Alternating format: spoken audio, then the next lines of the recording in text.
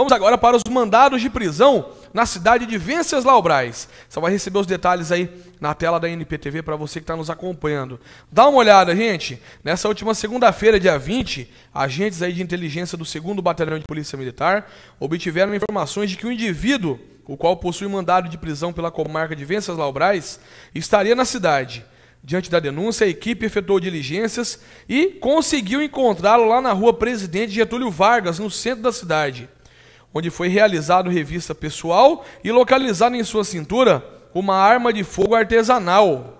No mesmo instante, através da Polícia Militar, foi dado voz de prisão para o meliante e logo após ele foi encaminhado aí pela equipe de rádio patrulha até a 36ª Delegacia Regional de Polícia Civil.